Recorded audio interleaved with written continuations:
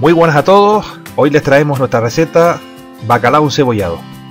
Vamos a ver paso a paso cómo realizar este fantástico plato. Aquí tenemos nuestros cuatro lomitos de bacalao, esto aproximadamente para dos personas. Vienen a punto de sal, bastante, bastante buenos, ¿de acuerdo? Lo que vamos a hacer es enharinarlos, pasarlos por harina. También se puede, se puede hacer en crudo, eh, meterlos en la cazuela en crudo, pero yo lo voy a pasar por harina ya que después con la harina se puede ligar mejor la salsa que nos va a quedar, ¿de acuerdo? Vamos a freír en una sartén con un poco de aceite, a fuego medio. Freímos por ambos lados, aproximadamente unos dos minutitos por cada lado. Y vamos a reservar en un plato con papel, servilleta de cocina o papel absorbente, ¿de acuerdo? Aquí tenemos nuestros cuatro lomos ya pasados por la sartén. En un calderito donde definitivamente vamos a hacer nuestra, nuestro pescado cebollado, añadimos un chorrito de aceite.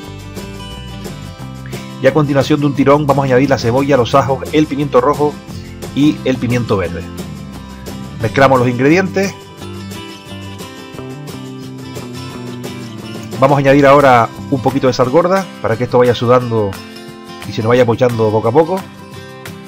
Transcurrido unos 5 minutos ya vemos como ya eh, la fritura va cogiendo cuerpo. Vamos a añadir una pizca de tomillo, la medida es una cuchara de la de café aproximadamente. Añadimos un cuarto de vaso de vino blanco.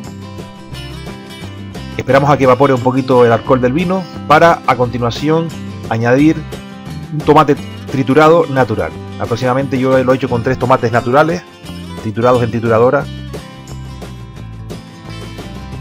lo añadimos a la fritura y a continuación un poquito o una cucharada de tomate concentrado. Mezclamos bien todos los ingredientes, añadimos al final una pizca de pimentón dulce, la misma medida que la de tomillo, una cucharadita de la de café. Añadimos el caldo de pescado, unas aceitunitas para acompañar nuestro pescado, y ha pasado unos 15 minutos de cocción toda esta fritura, junto con el tomate vamos a añadir ya nuestro bacalao con la piel hacia arriba.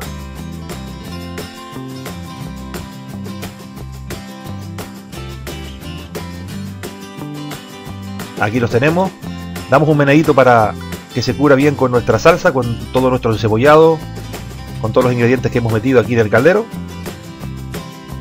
Tapamos y dejamos cocer aproximadamente 5 minutitos a fuego lento y pasado este tiempo ya prácticamente tenemos nuestro pescado encebollado.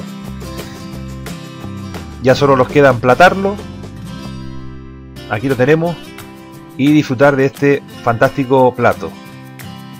Se puede hacer en crudo, aparte de, hacerlo con harina, se puede también hacer en crudo, meter el, pescado con la piel hacia arriba en la cazuela.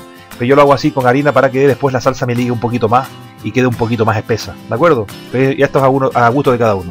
Pues un saludo para todos, espero haberles ayudado en esta fantástica receta del bacalao encebollado y nos vemos en el próximo. Saludos para todos.